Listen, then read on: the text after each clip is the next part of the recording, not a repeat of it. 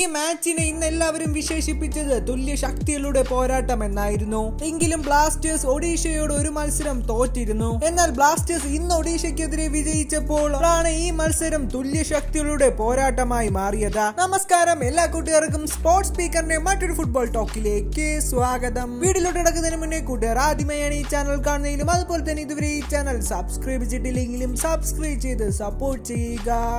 അപ്പോൾ നമുക്ക് നേരെ വീടിലോട്ട് ഇടക്കാം ബ്ലാസ്റ്റേഴ്സ് ഇന്നത്തെ മത്സരത്തിൽ ഒരു ചേഞ്ചുമായാണ് ഇറങ്ങിയത്. ജസൽ കാർണിയറോ നിഷു കുമാറിനു പകരം ഇറങ്ങുന്നു. ഇനി ഒരു ചേഞ്ച് നടത്തിയിട്ട് പോലും ബ്ലാസ്റ്റേഴ്സിനെ ഒഡീഷ എഫ് സി ഈ മത്സരത്തിന്റെ ഒരു അമ്പത്തി അഞ്ചാം മിനിറ്റ് വരെ വലിഞ്ഞു മുറങ്ങുന്ന കാഴ്ചയാണ് കണ്ടത്. അതുവരെ ഒഡീഷ എഫ് സിയുടെ കയ്യിലായിരുന്നു പൂർണമായ ആധിപത്യം. അതുവരെ ഒരു ബ്ലാസ്റ്റേഴ്സ് ആരാധകർക്കും ബ്ലാസ്റ്റേഴ്സിന്റെ പ്രകടനം സംതൃപ്തി തന്നിട്ടില്ല എന്ന് തന്നെ പറയാൻ സാധിക്കും. എന്നാൽ ആ രണ്ട് സബ്സ്റ്റിറ്റ്യൂഷനുകളിലൂടെ ബ്ലാസ്റ്റേഴ്സ് മുന്നേറുന്ന കാഴ്ചയാണ് നമുക്ക് കാണാൻ സാധിച്ചത്. അതിൽ ഒഡീഷ എഫ് സി പൂർണമായി മുങ്ങിപ്പോകുന്നതും നമുക്ക് കാണാൻ സാധിച്ചു. ബ്ലാസ്റ്റേഴ്സ് തുടരെ തുടരെയായുള്ള അറ്റാക്കുകൾ ചെയ്യുന്നുണ്ടായിരുന്നെങ്കിലും ഗോൾ മാത്രം അകത്തു നിന്ന കാഴ്ചയാണ് കണ്ടത്. എന്നാൽ എന്നാൽ ഒരു ക്രോസിലൂടെ കിട്ടിയ ചാൻസ് സന്ദീപ് സിംഗ് ഗോളിലേക്ക് കൺവേർട്ട് ചെയ്തപ്പോൾ ബ്ലാസ്റ്റേഴ്സ് ഇരുപത്തിരണ്ട് പോയിന്റോടെ മൂന്നാം സ്ഥാനത്തിലേക്ക് കുതിച്ചു കയറുന്നു. ശരിയാണ് ഈ മത്സരം മൊത്തത്തിൽ എടുത്തു വെച്ച് നോക്കിയാൽ ഒഡീഷയുടെ പ്രകടനമായിരുന്നു വലുത്. എന്നാൽ ഒഡീഷയ്ക്ക് ഗോൾ കണ്ടെത്തിക്കാൻ സാധിക്കാത്തതുകൊണ്ട് തന്നെ ഈ മത്സരത്തിലെ അവരുടെ ടാറ്റിക്സിന് എന്തോ ഒരു കുഴപ്പമുണ്ടായിരുന്നു എന്ന് തന്നെ നമുക്ക് പറയേണ്ടി വരും. ഇനി ബ്ലാസ്റ്റേഴ്സുമായി ബന്ധപ്പെട്ട മറ്റൊരു അപ്ഡേറ്റിലേക്ക് കടക്കുകയാണെങ്കിൽ മാർക്കസ് മെർഗ്ലാവോ ഇപ്പോൾ അപ്ഡേറ്റ് ചെയ്തിരിക്കുന്ന പ്രകാരം